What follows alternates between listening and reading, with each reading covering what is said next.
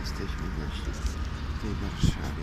Jeszcze niech Państwo popatrzą się, skoro jesteśmy w tej Warszawie, na te napisy BGŻ, BTH, Paribas.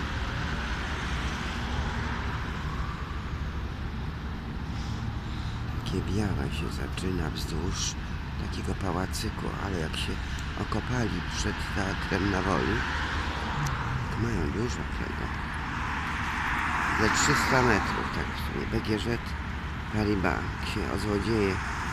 No, w radiu Maryja w niedzielę wieczorem późno była audycja na temat banków. Lichwa, lichwa, ale ile nakradli z tej Polski, prawda? Miliardy to, jeżeli chodzi o mafię reprywatyzacyjną, to miliard. A te inne to.